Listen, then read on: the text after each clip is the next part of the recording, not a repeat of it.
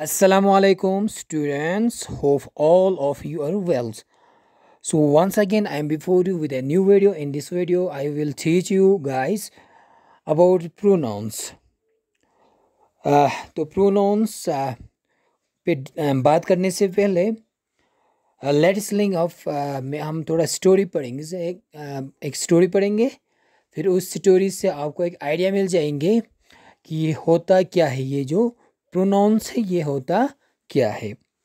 Okay तो let's start circle the pronouns in the story okay तो story पढ़ना है, फिर उसमें से जो प्रोनाउंस है उसको सर्कल करना है ओके तो स्टोरी कुछ इस तरह होता है.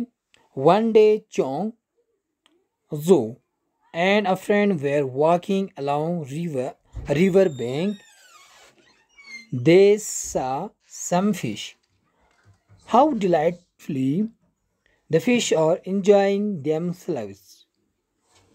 In the water, Chongso exclaimed, You are not a fish, his friend said.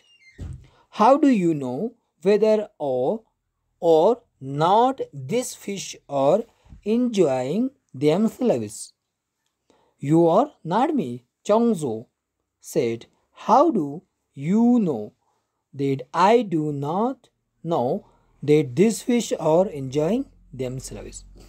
तो स्टोरी होता है कि जो चौंग जो है और उसके एक दोस्त है, वो कहीं पे जो रिवर बैंक है, और उसके अलाउंस से वो कहीं जा रहा होते हैं, जा रहा होते हैं तो they some fish in the water okay यानी उन्होंने पानी में कुछ मछलियाँ देखा तो जू ने उससे अपने दोस्त से कहा how delightfully the fish are enjoying themselves ये जो मछलियाँ हैं, ये पानी में कितना इन्जॉय कर रहा है, कितना मस्ती कर रहा है.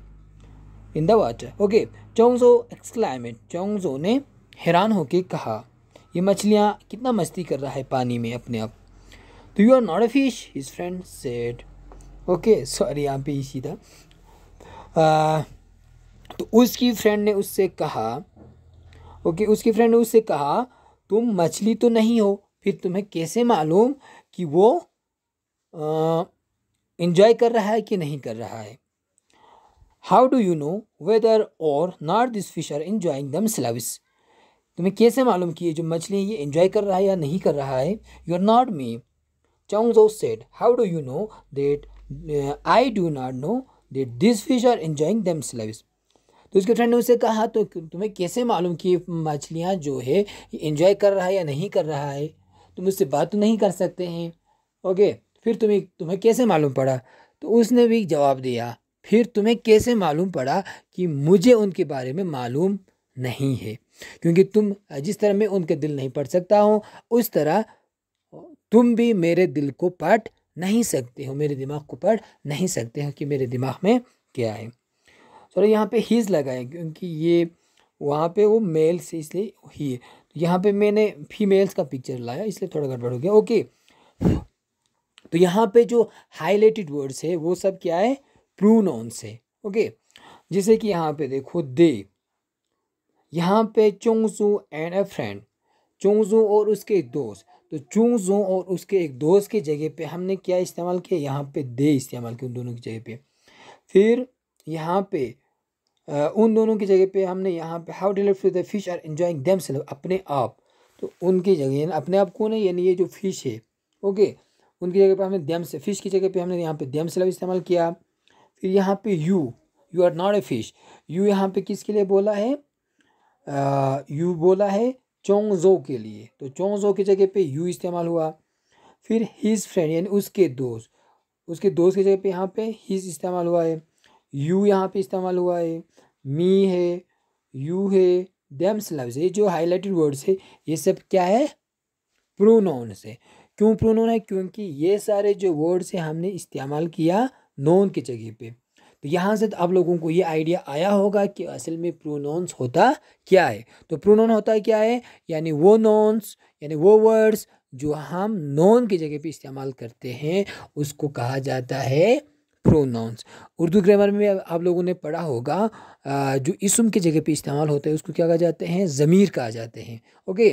यानी जो इसम की जगह पे इस्तेमाल होता है, उसको ज़मीर कहा जाता है। इसी तरह in the same in English grammar यानी वो लफ्ज़ जो नॉन्स के जगह पे इस्तेमाल होते हैं, उसको कहा जाता है प्रोनाउंस तो आप लोगों को आइडिया आया होगा कि प्रोनाउंस होता क्या है। तो यहाँ पे उसका डिफिनेशन है प्रोनाउंस अब pronoun is a word use it instead of a noun यानी प्रोनाउन वो वर्ड्स होते हैं या वो लफ्ज़ होते हैं जो हम इस्तेमाल करते हैं नोन के जगह पे। ओके? मिसाल के तौर पे, Ali is my friend he is a wise man यहाँ पे अली जो है वो क्या है? प्रोनोन है। और दूसरे सेंटेंस में हमने अली की जगह पे क्या इस्तेमाल किया? ही इस्तेमाल किया। तो यहाँ पे ही क्या है? व्हाट इज़ ही तो ये ही क्या है? ये प्रोनोन है। क्योंकि हमने इसको जगह पे इस्तेमाल किया अली के। In the same way the second sentence okay we are going for holidays next month तो यहाँ पे ओके okay, हम वी क्या है? वी है प्रोनाउंस तो हम में ओके okay, मैं भी आ सकता हूँ मेरा ओके okay, मेरी भाई भी आ सकते हैं मेरे फ्रेंड भी आ सकते हैं मेरे बाप भी आ सकते हैं। तो उन सब के नाम लिखने के बजाय मैंने यहाँ पे क्या लिखा? वी लिखा। तो हम आमतौर पे जो प्रोनाउन है वो नोन की जगह पे इस्तेमाल क्यों करते हैं? ताकि सेंटेंस में एक ही चीज़ बार बार रिपीट ना हो। और अगर हमने यहाँ पे लिखता अगर वी की जगह अगर ये प्रोनो नहीं होता तो हम यहाँ पे लिखता अली माली हसन ओके। आ, फिर Mohammad okay Raju Lakshman and फिस्तान are going for holiday next month okay तो ये थोड़ा सेंटेंस बड़ा हो जाता और अजीब सा भी लगता। ओके तो कई चीज़ें वहाँ पे रिपीट होता। तो यहाँ पे सीधा वी लगाया तो चल गया। तो जो नॉन के जगह पे यहाँ पे इस्तेमाल हुआ है वी तो वो क्या है? प्रोनाउंस अब हम बात करेंगे टाइप्स ऑफ़ प्रोनाउंस की। ओके जो टाइप्स ऑफ़ प्रोनाउंस यानी जो अभी तक हमने बात किया प्रोनाउंस की तो प्रोनाउन यहाँ पता सुनते प्रोनाउन क्या होता है? यानी प्रोनाउंस वो वर्ड्स होते हैं जो हम नॉन की जगह पे इस्तेमाल करते हैं। अब इसके ओके फिर उसके बाद क्या होते हैं? टाइप्स ऑफ़ प्रोनाउन प्रोनाउन की कस्में। ओके प्रोनाउंस की बहुत सारे कस्में होते हैं। तो बिफोर यानी उस पर बात करने से पहले कि हम प्रोन ओके प्रोनाउंस की जो कस्में, उस पर बात करने से पहले यहाँ पे हमने एक टेबल आपको दिया है। ओके तो इसमें यानी कि यूजेस के बारे में ये जो प्रोनाउंस का जो यूजेस होते हैं वो कहाँ कहाँ होते हैं? ओके कौन कौन सा केस में होते हैं वो हम बात करेंगे। वैसे तो इसका यूजेस ओके सब्जेक्टिव केस होते हैं ऑब्जेक्टिव केस होते हैं ओके फिर उसमें पोसेसिव केस होते हैं। आ, तो हमने यहाँ पे दो ही केस की बात किया है एक है सब्जेक्टिव प्रोनाउन दूसरा होता है ऑब्जेक्टिव प्रोनाउंस जैसे कि you she he it we and they are use it as subject pronouns okay जैसे कि ये सारे जो है you he she it we they इनका मचीन ये सब प्रोनाउंस है। तो ये इन सबको प्रोनाउंस है ना, ये सब सेंटेंस में इनको इस्तेमाल करते हैं सब्जेक्ट के तौर पे। इसलिए इनको सब्जेक्ट प्रोनाउंस कहा जाते हैं। जब भी हम इस्तेमाल करते हैं सब्जेक्ट सेंटेंस में तो इसको इस्तेमाल करते हैं एज अ सब्जेक्ट मिसाल के तौर पे शी इज़ अ नर्स यहाँ पे शी एज ए यहाँ पे शी क्या है? सब्जेक्ट है।